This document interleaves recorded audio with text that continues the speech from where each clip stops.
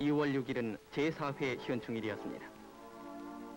나라를 위해 목숨을 바친 우리 국군 용사들의 거룩한 혼을 영원히 받들고자 이날 서울 시내 동작동 국군 묘지에서는 이 대통령 각하를 비롯해서 제안 중인 아시아 반공대회 대표 등 내외 귀빈 다수와 유가족 그리고 수많은 시민들이 모여 엄숙한 추도식을 거행했습니다.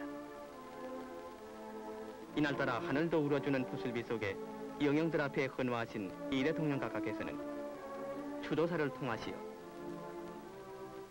중에 제일 영광스럽고 복스러운 죽음은 나라를 위해서 그리고 동포를 위해서 목숨을 다리는 그 죽음인 것입니다.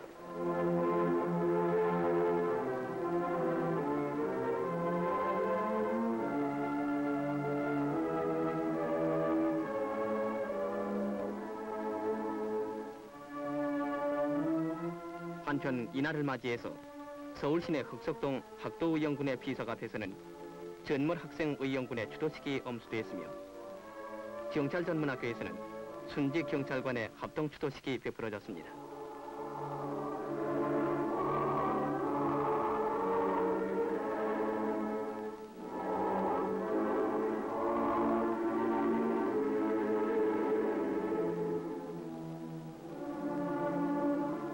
그리고 이날 오후 이 대통령 각하께서는 경복궁 경회루에서 유가족 위안 다과회를 베푸셨습니다.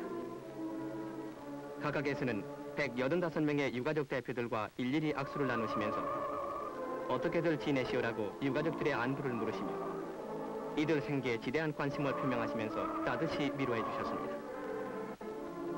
이날 아들 육형제를 나라에 바친 제주도의 김병조 씨를 비롯한 유가족들은 눈물 어린 감격 속에 잠기고 있었습니다.